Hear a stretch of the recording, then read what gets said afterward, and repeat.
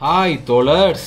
Actor விஜயோட political என்ட்ரிய விமர்சனம் பண்ணாலும் "ஆ, நீலாம் திமுக சொம்பு அதனாலதான் இப்படி பேசுவ அப்படின்றானுங்க. சரின்னு ஆக்டர் விஜயோட பொலிட்டிக்கல் என்ட்ரிய வரவேற்கக்கூடிய ஆட்கள் என்ன பேசுறாங்கன்னு பார்த்தா அவ்வளவுதான் திமுக அவ்வளவுதான் திமுக காலி திமுக ஓட்டு வங்கி காலி அப்படி இப்படின்னு புலகாகிதான் அடைஞ்சிட்டு இருக்காங்க. அப்ப இதுல இருந்து என்ன தெரியுதுன்னா விஜய பொலிட்டிக்கலா ஃபாலோ பண்ணக்கூடிய எல்லாரும் இல்லைன்னா maximum anti DMK mind set உள்ளவங்க தான்.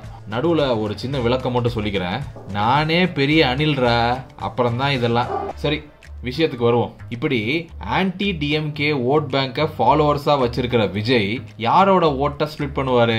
இங்க ஏற்கனவே இருக்கிற ஆன்டி டிஎம்கே ஓட் பேங்கை நம்பி கட்சி நடத்துகிற ஏடிஎம்கே பிஜேபி நாம் தமிழர் கட்சி.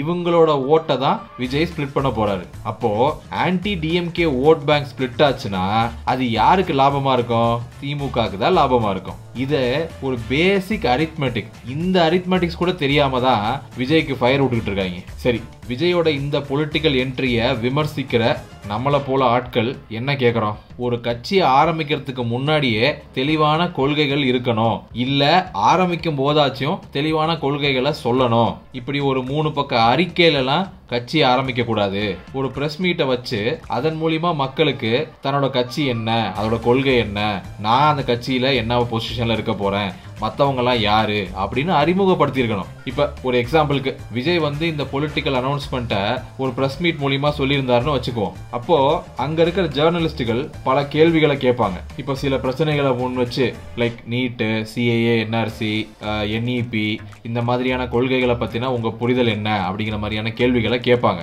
இப்போ அதுக்கு விஜய் நான் அதுக்கெல்லாம் எதிரானவன் அப்படிங்கிற மாதிரியான விளக்கங்களை கொடுத்திருந்தாருன்னா அப்பதான் ஆக்சுவலா விஜய் டிஎம்கேக்கு ஒரு த்ரெட்டாவே மாறுவார். விஜயோட பொலிட்டிக்கல் என்ட்ரிய விமர்சிக்கிற எங்களை போல ஆட்களும் அதைத்தான் விரும்புறோம். திமுகக்கு எதிராக திமுக பேசக்கூடிய கொள்கைகளை இன்னும் வலுவா பேசக்கூடிய ஒரு கட்சி வேணும் அப்படிங்கறத எங்க எதிர்பார்ப்போம். அப்போ விஜய விமர்சிக்கிற எங்களை மாதிரியான ஆட்கள் தான் திமுகக்கு எதிரான ஒரு ஸ்ட்ராங்கான பார்ட்டியா விஜய் வரணும். விஜயோட கட்சி இருக்கணும்னு எதிர்பார்க்கிறோம். ஆனா விஜயை ஆதரிக்கிற அந்த ரசிக குஞ்சுகள் தான் அண்ணாமலைக்கும் சீமானுக்கும் ரீப்ளேஸ்மெண்ட் தேடிட்டு இருக்காங்க. கொஞ்சம் அரசியல் அறிவோட யோசிச்சு உங்க தலைவருக்கு பிரஷரை போட்டு திமுகவை தோக்கடிக்கிற இடத்துல கொண்டு போய் வைங்க. இல்லனா அவர் திமுகவை ஜெயிக்க வைக்கிற இடத்துல தான் இருப்பார்.